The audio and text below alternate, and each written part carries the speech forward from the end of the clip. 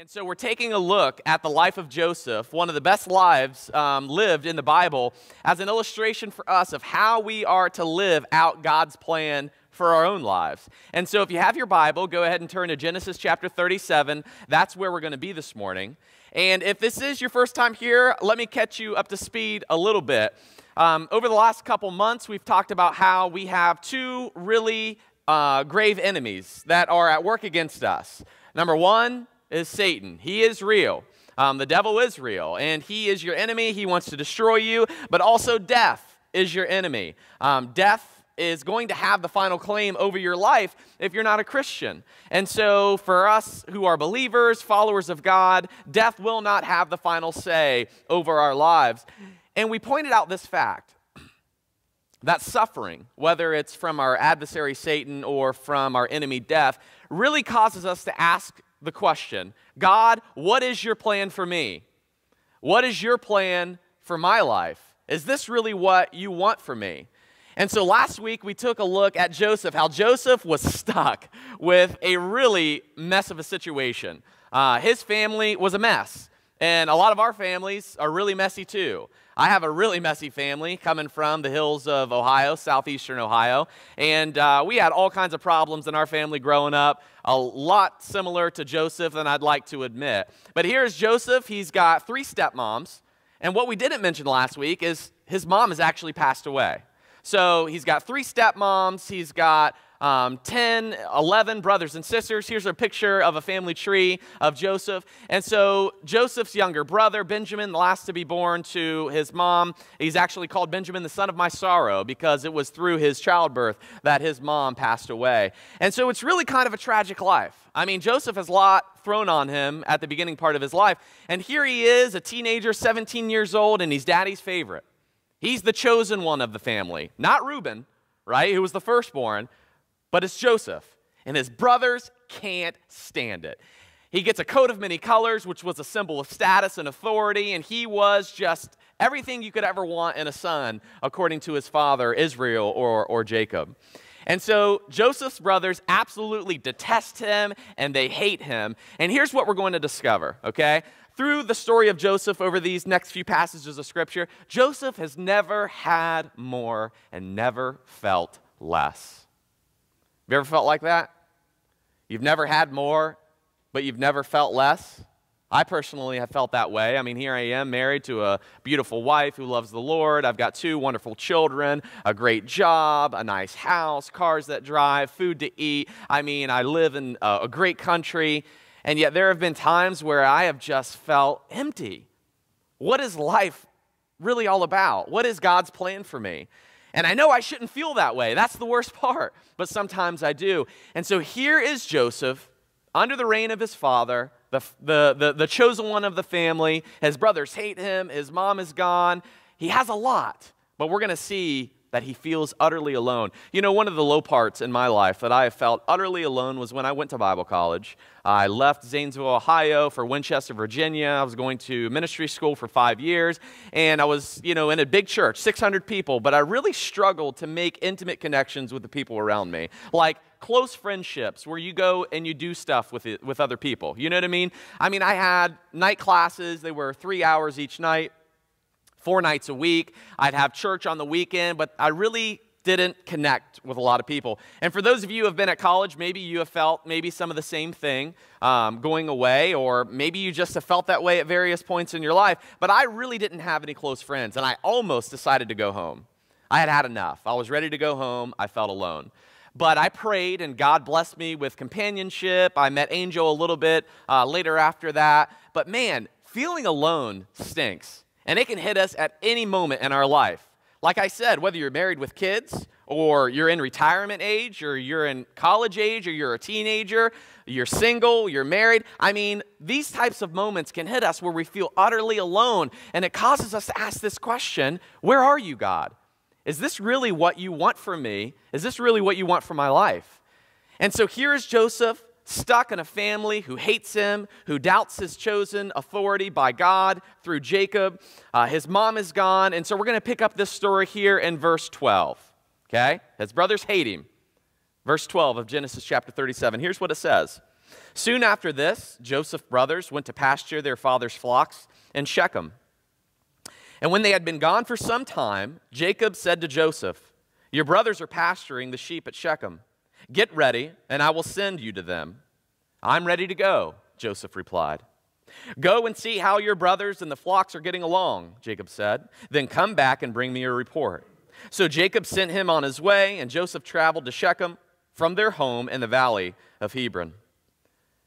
When he had arrived there, a man from the area noticed him wandering around the countryside. What are you looking for? he asked. I'm looking for my brothers, Joseph replied. Do you know where they are pasturing their sheep? Yes, the man told him. They have moved on from here, but I heard them say, Let's go on to Dothan. And so Joseph followed his brothers to Dothan and found them there. Now, I want you to place yourself in Joseph's situation, right? Have you ever had conflict with people that don't like you? What's the last thing that you want to do with people who don't like you and actually hate you? Well, let me go see where they're at and check in on them.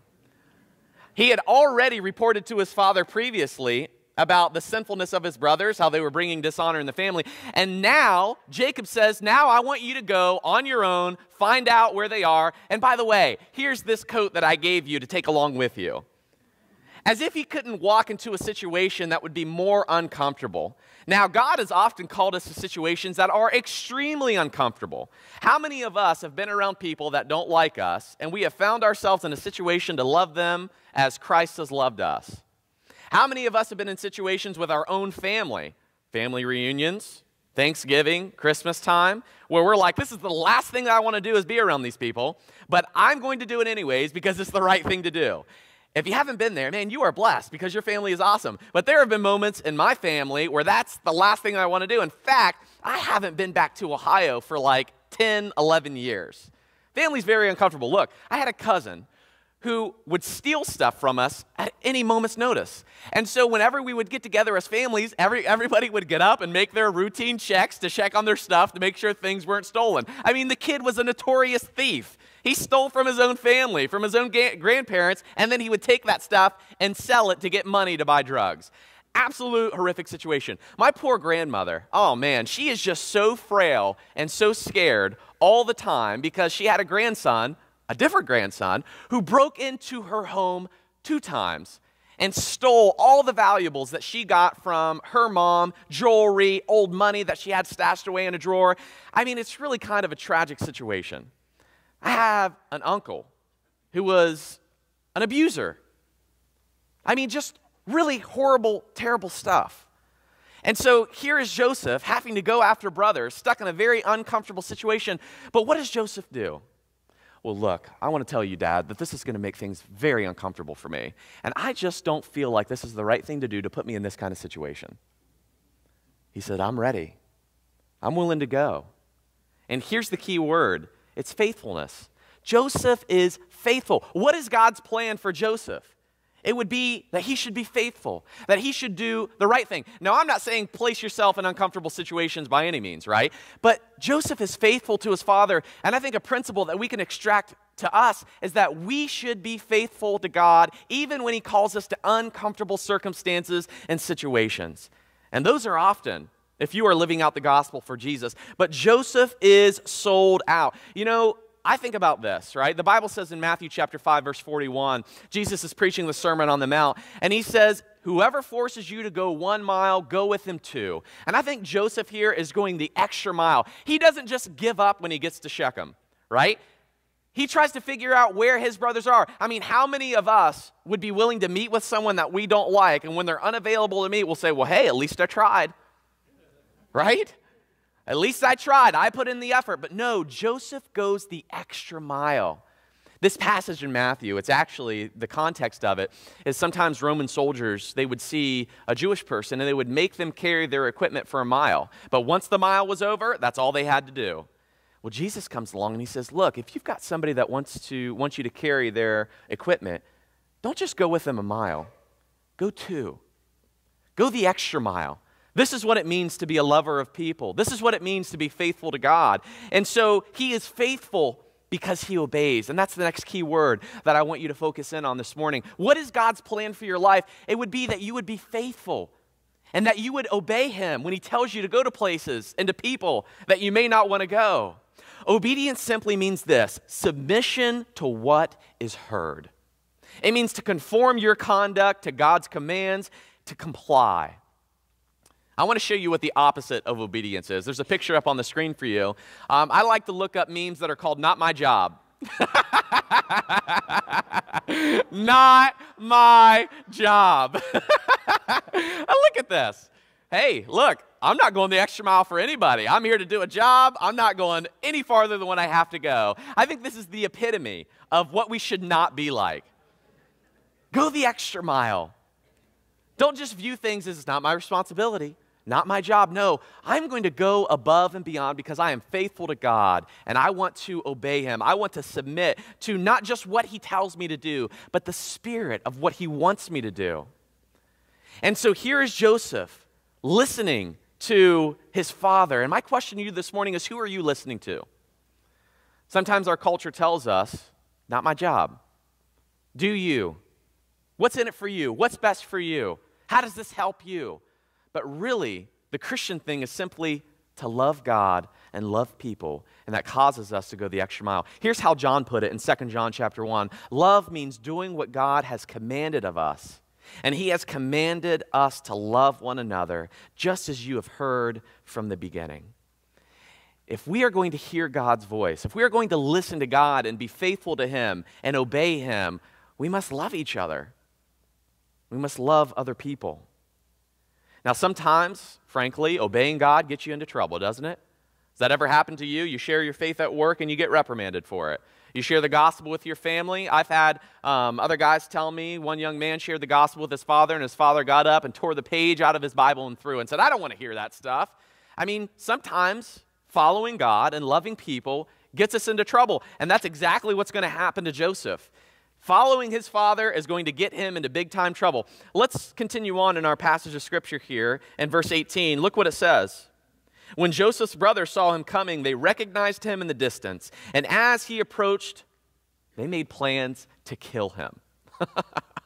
now, I can say this, at least to the best of my knowledge, nobody in my family has made plans to murder me. So Joseph has it a little bit rougher than what many of us hopefully have. But they are very hateful, corrupt men. It says in verse 19, Here comes the dreamer. They said, Come on, let's kill him and throw him into one of these cisterns. We can tell our father a wild animal has eaten him. Then we'll see what becomes of his dreams. Remember, last week he had a few dreams which showed everyone bowing down to him. These dreams were given to him by God. But when Reuben heard of their scheme, he came to Joseph's rescue. Let's not kill him, he said. Why should we shed any blood? Let's just throw him into this empty cistern here in the wilderness. Then he'll die without our laying a hand on him. As if that gets any better. But we get a little bit more information here. Reuben was secretly planning to rescue Joseph and return him to his father. Now, I've got a picture for you of what something like this pit would look like in the um, ancient times. And so they would plan on throwing Joseph down into this pit, but they wanted to kill him first. And so Reuben's trying to convince them hey, look, don't kill him. Let's just throw him down there. Whatever happens, happens. But he was secretly planning to rescue Joseph all along and return Joseph to his father. And so there's a shred of responsibility and morality in Reuben, who is the number one in the family. And perhaps his motive was simply this if I rescue Joseph, maybe I'll earn my spot back. Remember, we looked at last week how Reuben, the firstborn, the rightful heir to the promise, actually lost his chosenness, his gratefulness in the eyes of his father because of his sin. Let's keep going. Verse 23. So when Joseph arrived, his brothers ripped off the beautiful robe he was wearing. Then they grabbed him and threw him into the cistern. Now the cistern was empty, and there was no water in it. Then, just as they were sitting down to eat, they looked up and saw a caravan of camels in the distance coming towards them. It was a group of Ishmaelites, tra- traders, taking a load of gum and balm uh, and aromatic resin and, uh, from Gilead down to Egypt. And so they're traveling through here. And Judah said to his brothers, what will we gain by killing our brother? So he knew what the, what the reality was. If we throw him in this pit, he's still going to die. But Judah wants to get something out of it. He says, We'd have to cover up his, this crime. Verse 27 Instead of hurting him, Let's sell him to those Ishmaelite traders. After all, he is our brother, our own flesh and blood. And his brothers agreed. And so when the Ishmaelites, who were the Midianite traders, came by, Joseph's brothers pulled him out of the cistern and sold him for 20 pieces of silver, and the traders took him to Egypt. Who else was sold for 30 pieces of silver? It was Jesus. And so there's a lot of parallels. In fact, people often look to Joseph as a symbol of who Jesus was and what he would suffer. And it says in verse 29 sometime later, Reuben returned to get Joseph out of the cistern. And so we know that Judah actually came up with this plan why Reuben was off. And if you know anything about pasturing sheep, you got to go where they are. And so here they are uh, selling their brother. Reuben's not around. He's got this plan. He's going to save Joseph, bring him back to Jacob, and be the rescuer and perhaps restore his position. But now they've ruined his plans. They've sold Joseph to slave traders who are on their way to Egypt. You want to talk about not just rotten luck, but horrible circumstances. What kind of questions would you be asking God? Is this really what you want for me? Was this really your plan? Look what the story goes on to say. It says in verse 30 Then he went back to his brothers, and he said, The boy is gone. What will I do now? Then the brothers killed a young goat and dipped Joseph's robe in the blood, and they sent the beautiful robe to their father with this message Look at what we found. Doesn't this robe belong to your son? Not our brother. Your son. Hatred, envy, animosity. It says in verse 33 their father recognized it immediately. Yes, he said, it is my son's robe. A wild animal must have eaten him. Joseph has clearly been torn to pieces. Then Jacob tore his clothes, dressed himself in burlap, and he mourned deeply for his son for a long time. His family all tried to comfort him, but he refused to be comforted. And he said, I will go to my grave mourning for my son and then he would fall asleep.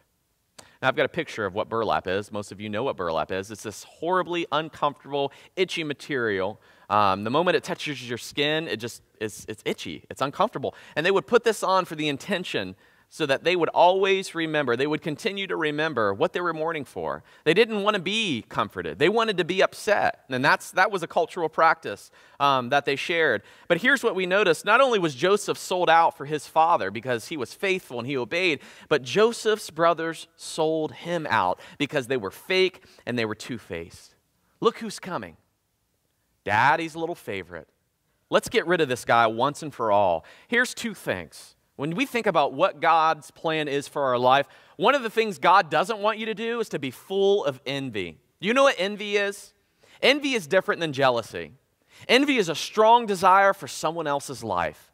But here's the catch when you see that they have something better than you, you not only wish you had what they had, you hope they lose it, and you mourn that you don't have it. And I think this is absolutely true in our culture with social media. We see the highlight reel of everyone else's life, and we are sad at what we don't have relationships, money, things, houses. We're envious of other people. We don't have what they have and we want it, and then we weep because we don't have it. And that's exactly what these brothers are full of. They are full of envy. And it's so when you see that other people have something better than you, you're full of bitterness. And which eventually leads to hatred. Envy, the Bible says in Proverbs 14, will rot your bones. It literally takes away the goodness from your life. That's how horrific envy is. It's not just a sin, but it affects your very DNA. Envy is evil.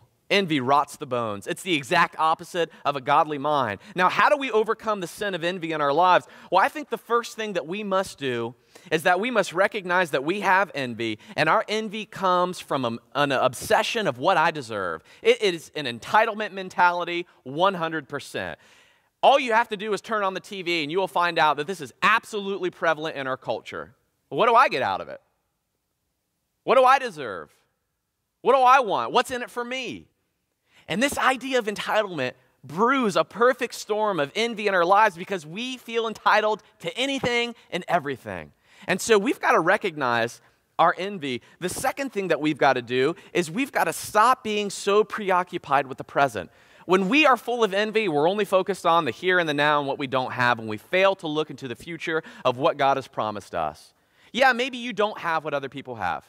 Maybe you don't have the relationship or the money or the job or the body or whatever it is that you struggle with when it comes to envy.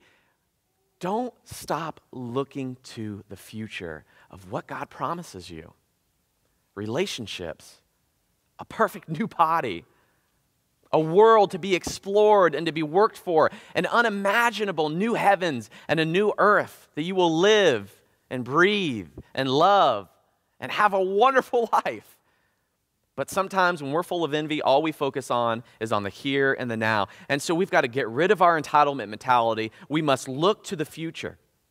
Now, here's the thing we enjoy life so much less when we think about how much we deserve and how much we don't have. And so, if you want to live a miserable life, focus on how much you deserve and how much you don't have. When I did a devotional for Timothy Keller, here's what he had to say about this idea of envy. He said, We should realize that our true reward is based on God's grace, and we should remember that in the end, believers will lack nothing.